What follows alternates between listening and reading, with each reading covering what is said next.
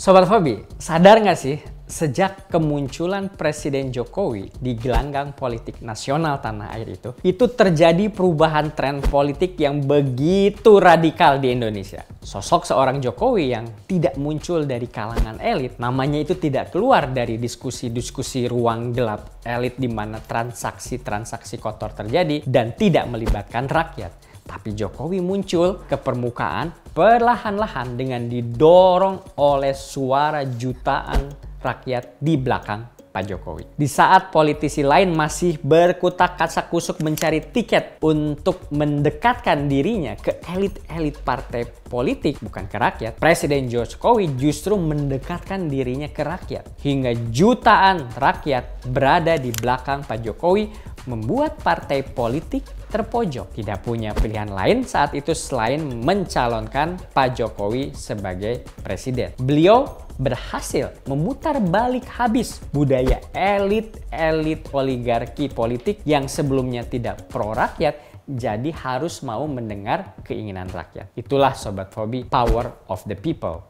Kata pepatah, suara rakyat adalah suara Tuhan. Artinya, dengan kehendak rakyat, membelah gunung pun bisa dilakukan. Gitu kira-kira. Nah, kita udah menyaksikan nih bagaimana kehendak rakyat itu bahasa sekarangnya termanifestasikan di dalam sosok Presiden Jokowi yang berhasil membuat elit-elit politik ini bingung, sibuk kalang kabut, sehingga akhirnya semuanya harus merapat ke Presiden Jokowi. Bayangkan Sobat Fobi, di antara elit-elit partai, pengusaha-pengusaha yang tajir melintir sampai jenderal-jenderal yang bintangnya banyak itu, justru Presiden Jokowi tukang mebel dari Solo itu berhasil naik menjadi orang nomor satu di Republik ini itu nggak mudah loh Sobat Fobi.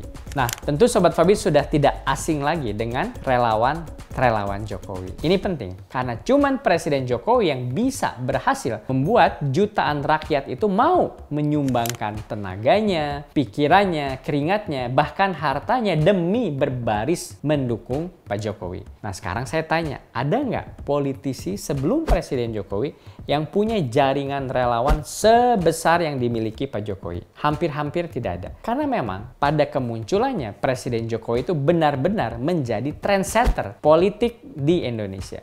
Jadi Sobat Fobi, episode Fobi kali ini akan membahas gaya politik khas Presiden Jokowi yang didukung oleh jutaan rakyat berbentuk relawan ini yang berhasil mengobrak-abrik merubah sistem politik nasional.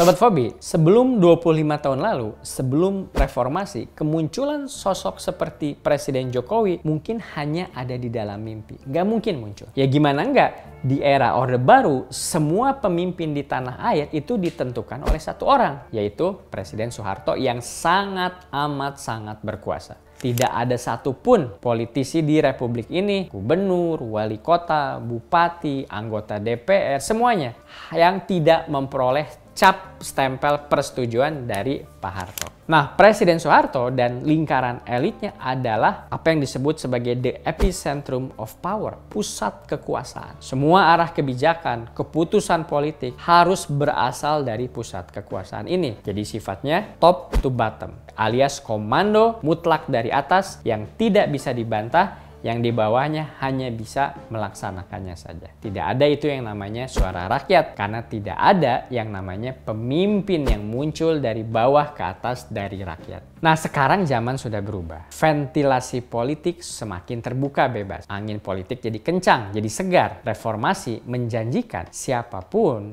bisa masuk ke gelanggang politik. Tapi tentunya hanya lewat lubang-lubang ventilasi yang sudah disediakan. Enggak siapa pun gitu juga. Tetap kita punya sistem di mana partai politik penting sekali peranannya. Siapa pun memang bisa menjadi presiden, jadi gubernur, jadi wali kota, jadi bupati, jadi anggota dewan, asalkan atau lebih mudahnya lewat partai politik. Nah, tapi partai politik yang katanya ini penopang demokrasi justru biasanya sangat tidak demokratis pada praktek sehari-harinya. Mentang-mentang partai politik ini menjadi kendaraan politik, jadi hanya partai politik terutama elit-elit partai yang menjadi semena-mena menentukan siapa yang boleh masuk, siapa yang nggak masuk. Jadi masih ada warisan Orde Baru yang malah bertahan, di mana keputusan politik masih bersifat elitis, hanya ditentukan oleh petinggi-petinggi partai. Sudah ditentukan elit partai, barulah kader-kader di belakangnya, di bawahnya patuh mengikuti seperti bebek. Khas budaya politik di era Orde Baru. Nah akhirnya apa?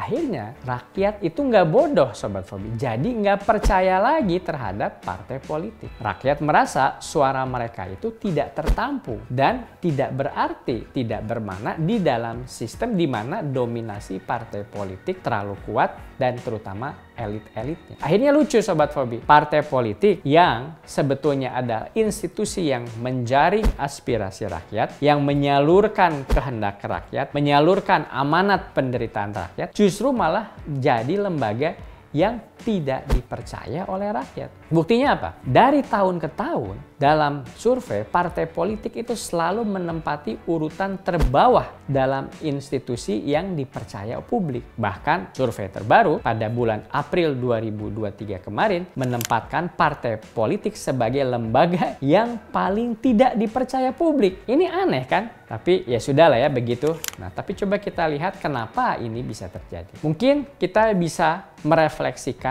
kutipan dari seorang presiden Amerika Serikat yang dulunya bintang film yaitu Ronald Reagan saat keluar dari Partai Demokrat pada tahun 62 jadi beliau asalnya Partai Demokrat lalu jadi presiden uh, melalui Partai Republik. Beliau berkata begini, I didn't leave the party but the party left me. Jadi saya tidak meninggalkan partai politik Demokrat dalam hal itu tapi partai politik lah yang meninggalkan saya. Nah, mungkin begitu. Bukan kita yang meninggalkan partai politik, bukan yang kita ya males sama partai politik, tapi mungkin justru partai politiklah yang meninggalkan kita, meninggalkan rakyat. Nah, begitulah kenyataan miris perpolitikan Indonesia, Sobat Fobi. Partai politik yang harusnya menjadi tangga terbuka untuk siapa saja bertarung secara fair, berkompetisi secara sehat, justru malah dijaga, ditutup rapat-rapat oleh para elit-elitnya. Tidak ada yang boleh naik ke tangga tersebut tanpa persetujuan petinggi partai. Akhirnya apa? Akhirnya suara rakyat menjadi tersumbat, mampet. Nah, kala suara rakyat tersebut bertentangan dengan kehendak elit-elit partai. Sobat Fabi, tahu nggak kalau Presiden Jokowi hampir tidak bisa menjadi presiden pada tahun 2014 lalu. Pak Jokowi saat itu didukung penuh oleh rakyat, malahan terhalang oleh restu elit partai. Kala itu nama Pak Jokowi memang baru melejit, cepat melejit. Sehingga banyak elit-elit pusat yang kaget. Tidak sedikit elit-elit politik tersebut menyembunyikan insecurity-nya dengan meremehkan kemampuan Jokowi untuk memimpin Indonesia. Bahkan ada elit-elit PDI Perjuangan saat itu yang masih menganggap remeh Pak Jokowi. Tapi kala itu suara rakyat begitu lantang. Berbagai tokoh, pengamat pun bersuara di berbagai media untuk mencalonkan Pak Jokowi yang saat itu menjabat Gubernur DKI Jakarta sebagai pilihan terbaik yang bisa dilakukan oleh PDI Perjuangan kala itu. Bagaimana tidak, suara rakyat mulai termanifestasi secara nyata dengan terbentuknya kelompok relawan-relawan Jokowi for President. Posko-posko relawan terbentuk secara organik, panduk dukungan di mana-mana, ribuan orang menyatakan dukungannya. Bukti sudah konkret bahwa rakyat memang menginginkan Jokowi. Nah, pada saat itu hal yang harus dilakukan PDI Perjuangan hanyalah memberikan tiket kepada kader unggul unggulannya tersebut, Pak Jokowi. Nah, tapi kita masih ingat waktu itu PDI Perjuangan masih diam seribu bahasa. Elit-elitnya banyak yang lebih menginginkan calon-calon lain untuk menjadi capres yang diusung. Jadi pada saat itu bagi para elit masih membingungkan antara keinginan elit dengan kehendak rakyat yang menyuarakan Pak Jokowi sebagai calon presiden saat itu. Tetapi Begitu derasnya dukungan terhadap Pak Jokowi, akhirnya PDI Perjuangan memutuskan untuk mencalonkan Pak Jokowi sebagai presiden. Sebuah keputusan yang cukup mengejutkan karena seorang Ibu Megawati Soekarno Putri bisa lulu dan dengan rasional memutuskan bahwa besarnya dukungan rakyat kepada seorang Jokowi itulah yang menentukan. Banyak elit yang saat itu sinis dengan keputusan Ibu Mega. Hal ini diceritakan Ibu Mega sendiri Kira-kira Bu Mega berkata begini, ketika waktu itu saya mendeklar Pak Jokowi, orang kan dengan sinis mengatakan siapa toh Jokowi, nggak dikenal. Kok Bu Mega berani-berani mengajukan dia? Ya saya diam saja, kira-kira begitu Bu Mega. Nah dari cerita itu kita bisa lihat bagaimana Presiden Jokowi ini hanya di backing oleh suara rakyat, tapi akhirnya bisa membuat seorang ketua umum partai mendengarkan dengan bijaksana dan memilih Pak Jokowi dibandingkan mendengarkan lingkaran elit-elit di kanan kirinya itu. Dengan demikian, Presiden Jokowi dengan barisan relawannya itu membawa warna baru yang segar dalam perpolitikan Indonesia.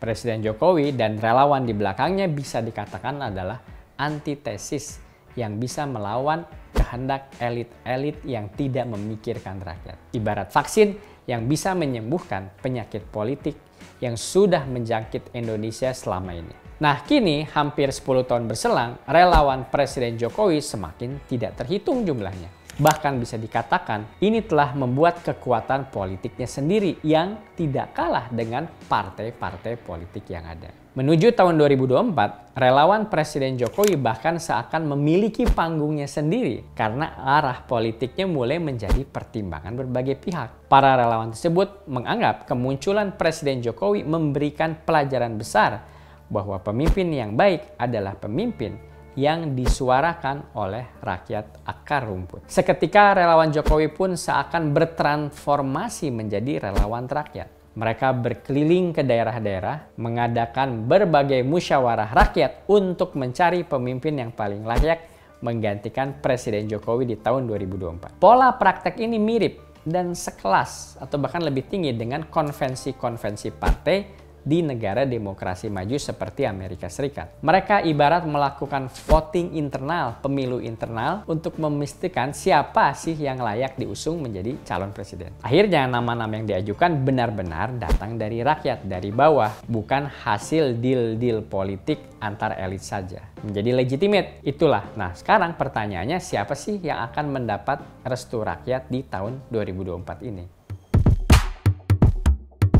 Dari berbagai musyawarah rakyat di berbagai daerah, sejumlah nama itu sudah dikantongi oleh jaringan relawan Presiden Jokowi. Nama itu siapa saja? Ada nama Menteri Pertahanan Pak Prabowo, ada nama Menteri Pak Menteri Koordinator Perekonomian Pak Erlangga, dan tentunya ada juga nama Gubernur Jawa Tengah Pak Ganjar Pranowo. Dua nama itu dari tiga kali itu namanya memang sudah mentereng dan terbukti diinginkan rakyat seperti yang kita lihat di berbagai survei yang ada. Sama seperti Presiden Jokowi dulu. Jadi bukan tidak mungkin salah satu dari mereka akan berhasil mengulangi kesuksesan Presiden Jokowi dengan menggerakkan relawan-relawan ini. Baik Pak Ganjar maupun Pak Prabowo itu sama-sama telah bekerja bersama Presiden selama ini. Bahkan keduanya sama-sama membawa atau menjanjikan keberlanjutan kepemimpinan Jokowi di tahun 2024 dan setelahnya. Tentu keberlanjutan dengan kekhasan ala keduanya ini, Pak Ganjar yang terbuka dan merakyat atau Pak Prabowo yang patriotik dan nasionalis akan tetapi perlu diingat kalau rakyat masih menimbang-nimbang, masih mengukur-ngukur.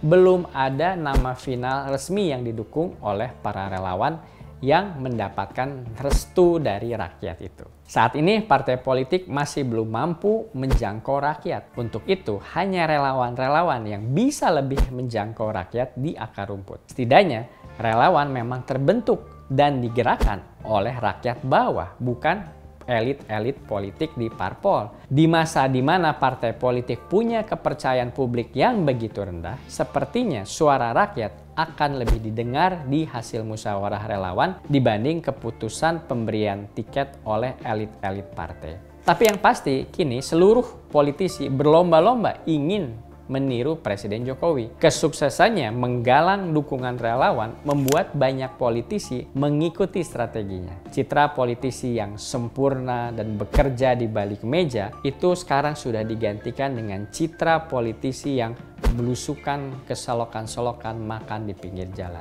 Presiden Jokowi benar-benar menjadi trendsetter politik yang membawa politik menjadi semakin dekat dengan rakyat. Kini sudah tidak zaman lagi arah politik ditentukan hanya secara elitis, eksklusif, ditentukan di kamar-kamar tertutup. Kini adalah eranya rakyat yang bergerak menentukan masa depannya sendiri. Politisi asli harus berasal dari rakyat. Sekian episode Fobi kali ini. Terus optimis sambil tetap rasional. Terima kasih.